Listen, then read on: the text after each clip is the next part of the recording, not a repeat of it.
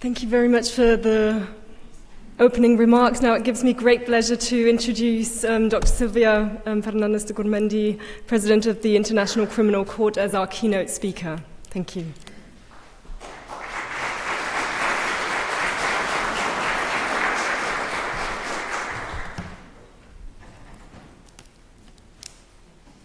I'm going to speak for hours.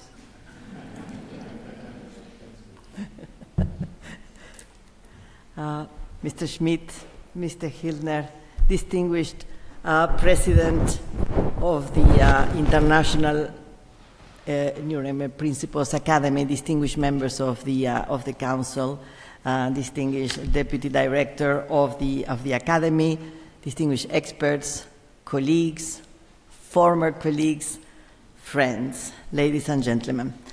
Uh, I would like to start by thanking the Academy for uh, inviting me to, um, to give this uh, opening um, uh, or keynote speech in this opening forum uh, related to the uh, Nuremberg Declaration on Peace and Justice. I have to thank them twice. I want to thank them for bringing me here today to room 600 uh, which is uh, in, in, itself uh, a deep honor to be here.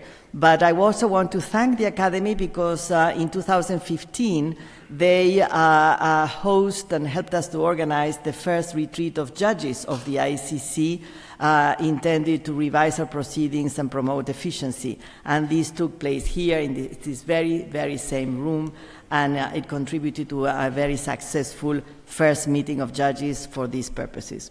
So I am very pleased to be back today to address you and uh, on this important issue. I am happy to see so many familiar faces with whom I had the privilege to working during these years, including at the time of the drafting of the Nuremberg Declaration. Ten years have elapsed since more than 300 practitioners, academics, and policymakers gathered here in Nuremberg to tackle one of the most critical questions of our time how can justice contribute to ensuring peace in the long term? And how to reconcile peace and justice in the short time, term, when diplomats and mediators are striving to reach an agreement to cease the violence. The question on how justice impacts on peace was very much at the center of the negotiations for the creation of a permanent international criminal court. However, some of the practical implications of these questions could be more clearly discerned only a few years later when the court started to make waves, to started to make noises through actual investigations, situations of ongoing violence. Was the court work really contributing to peace, or was it rather the spoiler, in an already complex environment.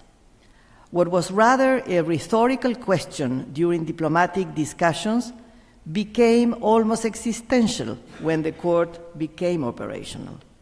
The initiators of the declaration sought to combine the knowledge and expertise of many in order to provide some answers to this fundamental question that continues to be highly relevant today. Ten years after this adoption, and after some 30 years of international criminal justice, including 15 years of operations at the International Criminal Court, it is an appropriate time to take stock of where we stand and contrast the principles of the Declaration against the experience we have gained.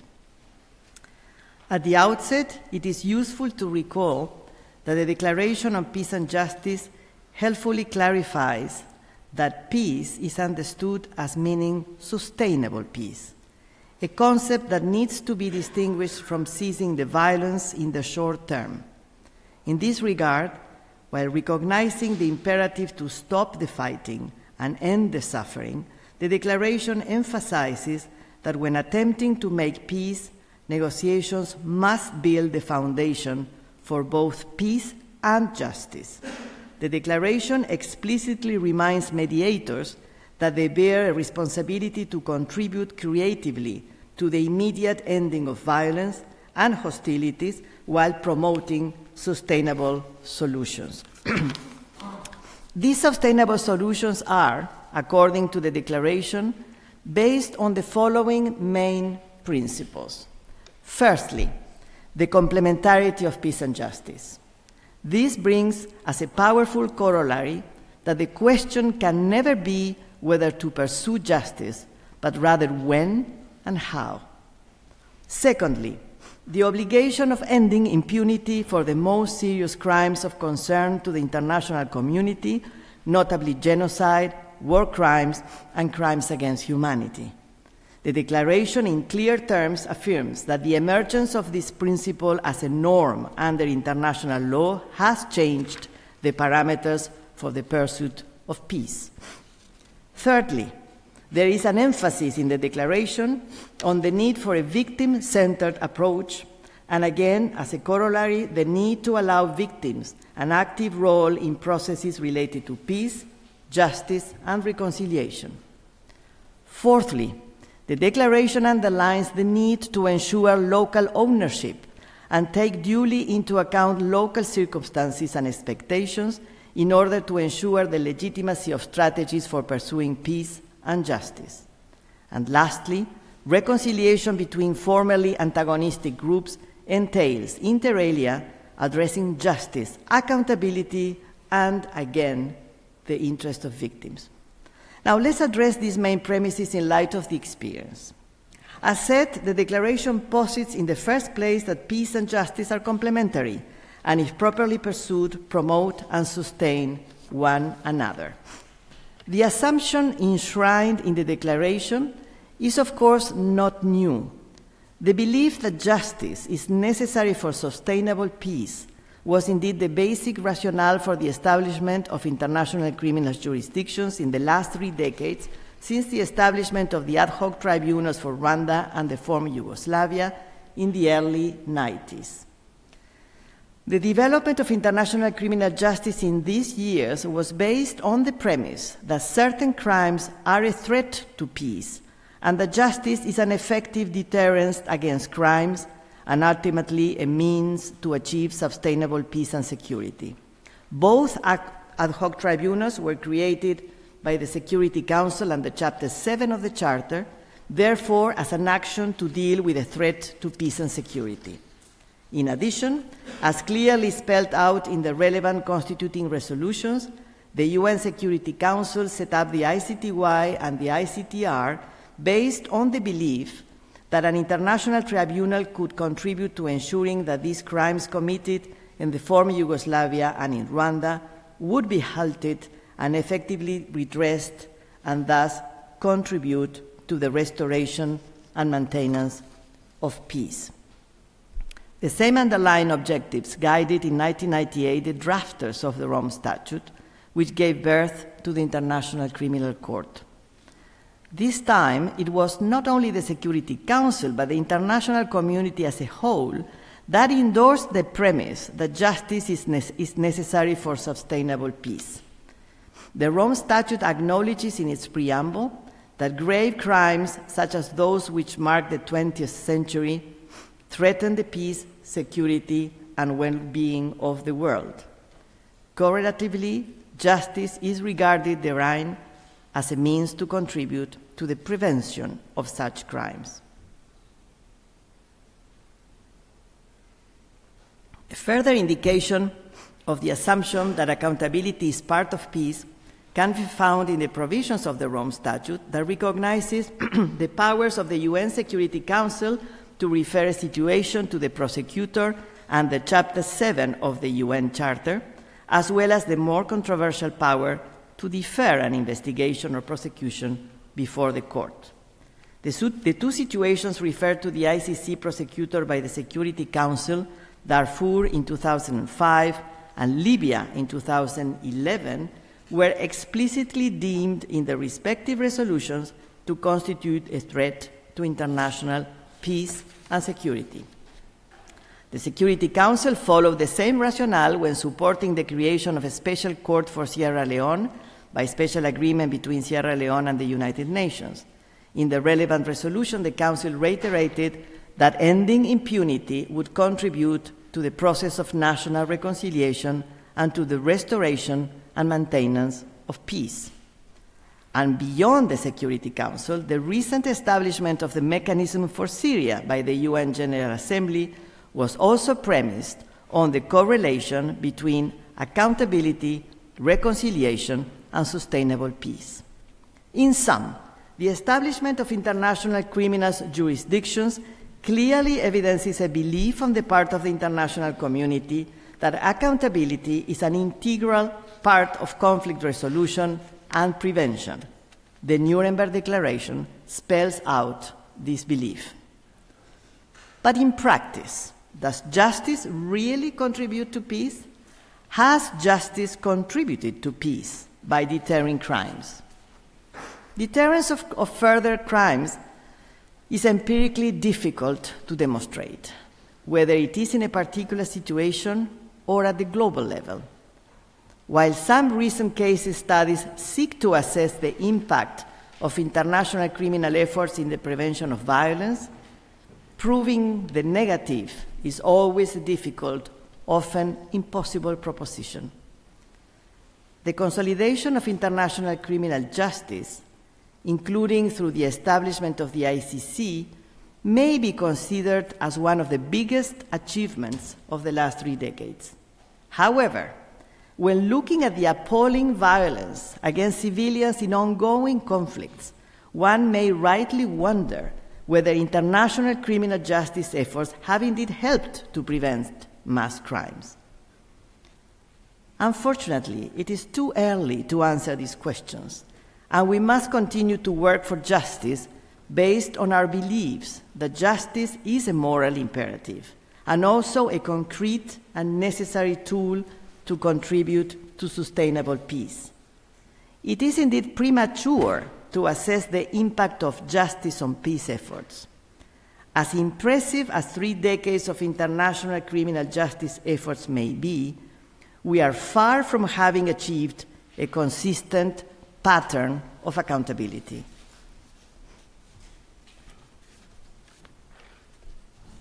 However, what has been achieved, for sure, is that in the last 30 years, the concept of accountability has been put firmly in the global agenda. There is now an expectation that there will be accountability for the most serious crimes and the conviction that it is necessary for sustainable peace.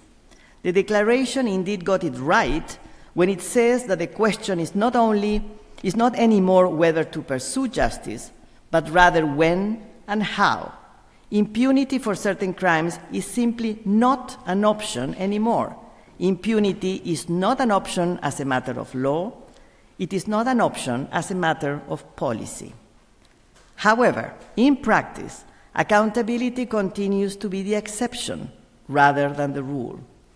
There are huge gaps where impunity continues to flourish. These gaps result from two particular weaknesses in the current system of international criminal justice. One of these is the nature of international crimes, and the other one is the lack of universality of justice efforts. Firstly, the nature of the crimes. International crimes often involve multiple perpetrators and thousands or hundreds of thousands of victims. It is unavoidable that justice will need to be selective regardless of whether it is applied at the international or national level. That is why prosecutorial discretion for this type of crimes is typically very broad. At the international level, in particular, prosecutorial efforts will normally focus on carefully selected events and perpetrators. Some international tribunals have been explicitly mandated to focus on those who bear the greatest responsibility. The statute for the Special Court for Sierra Leone, for instance, limited the court's jurisdiction to those who bore the greatest responsibility for the crimes committed in the territory of Sierra Leone. As part of their downsizing, the ad hoc tribunals, the ICTY and the ICTR, were specifically requested by the Security Council to focus their efforts on leaders suspected to bear the greatest responsibilities. In addition to the limited number of individuals selected for prosecution, the scope of conduct that is charged is often far narrower than the actual universe of the crimes that are committed. While the selection may be unavoidable, it may result in impunity for many serious crimes and no redress for victims. In some, international cases only embrace a handful of the crimes committed in a given area during a given period. Certain crimes, which would also deserve prosecution, are inevitably left aside. There may be different valid reasons for this, such as lack of sufficient evidence or the need to expedite both investigations and the judicial proceedings. But this narrow selection can cause problems, and we have seen it at the ICC in particular for the first cases. The prosecution strategy in the Lubanga case, the first case tried before the ICC, attracted criticism from victims for not being adequately comprehensive. Mr. Lubanga was tried exclusively for crimes against child soldiers, while there were allegations of other crimes having been committed against the civilian population in Eastern Democratic Republic of the Congo. We see a different approach in the recent Ongwen case related to the alleged crimes committed by the Lord's Resistance Army in northern Uganda.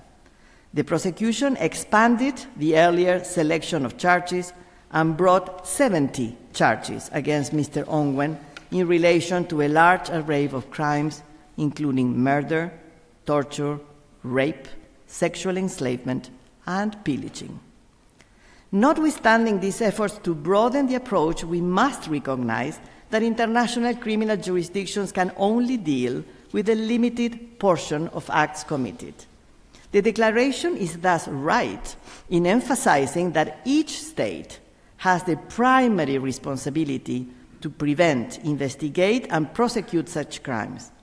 International and regional jurisdictions can only supplement, but never replace, the action of states. The International Criminal Court has been explicitly created as a complementary last resort mechanism intended to address only situations in which the relevant states fail to act. As a positive result of this complementary system, an increasing number of states have updated their national legislation to be able to investigate and prosecute international crimes at the domestic level. Others have also established specialized units within their justice systems in order to deal with this type of crimes. All these initiatives are commendable, as only through the combined efforts of all jurisdictions, national, regional, and international, can we truly hope to reduce the impunity gap and establish an effective system of global justice.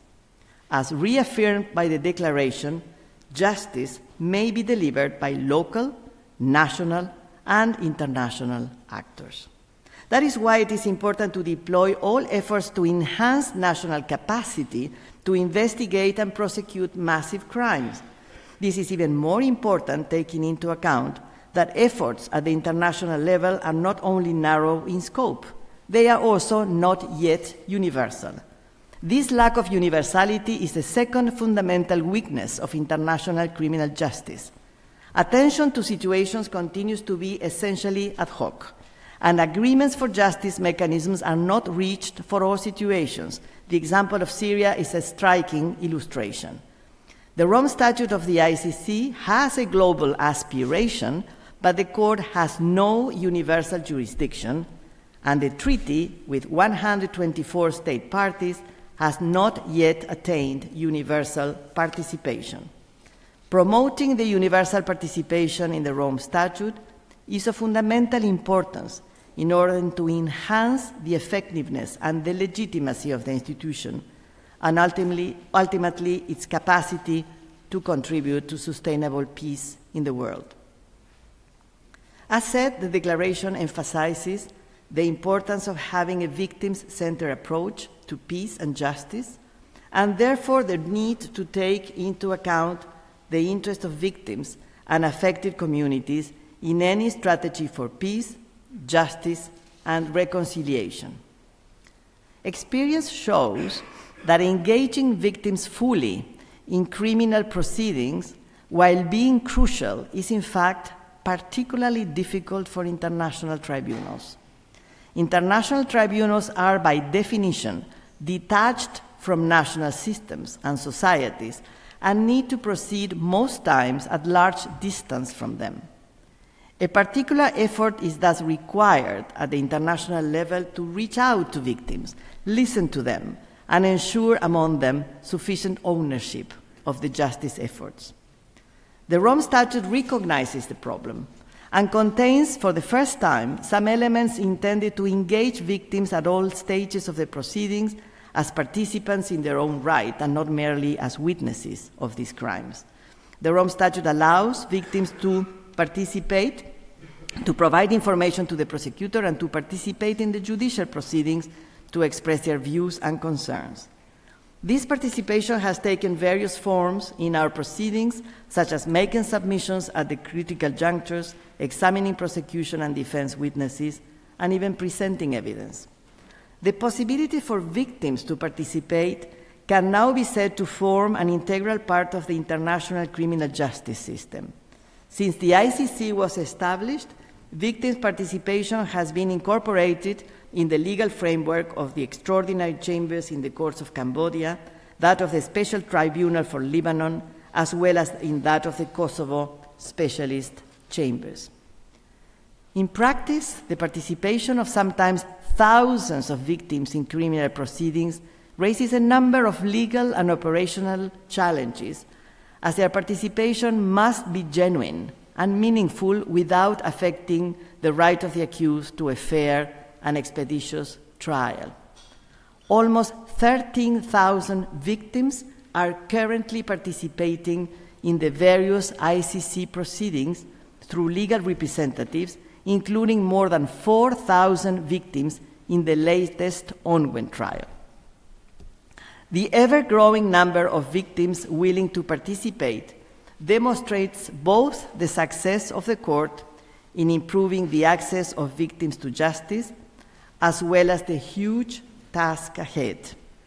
As victims participate through legal representa- representations, one particular challenge is to ensure a genuine channeling of victims' voices through legal counsel.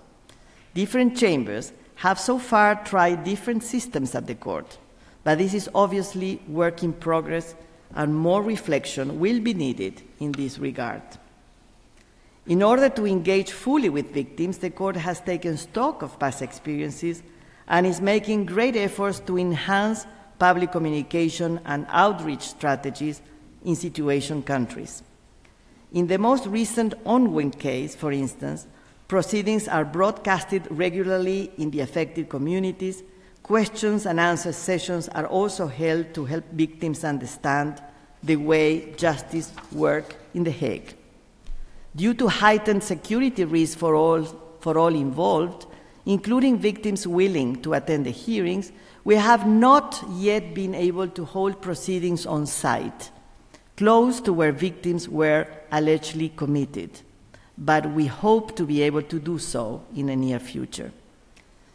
While participation in criminal proceedings is very important, reparations for the harm suffered are also crucial in order to contribute to peace and reconciliation. The Nuremberg Declaration refers to restitution, compensation, and rehabilitation as being essential components of justice. The Rome Statute is the first instrument of its kind to provide for the possibility of ordering reparations to victims in case of conviction. Reparations can be individual or collective, or a combination of both. Reparations are currently being considered in four cases before the ICC following convictions. Considering that international criminal justice can only address and repair a handful of cases, it is important that it be complemented by broader assistance to victims in situations investigated by the court beyond the confines of a particular case. As part of the reparation system, state parties to the Rome Statute have established a trust fund for victims funded by voluntary donations from states and other donors. The trust fund may contribute financially to implement reparations orders in case the convicted person is indigent, but also may provide broader assistance to victims of crimes in affected communities.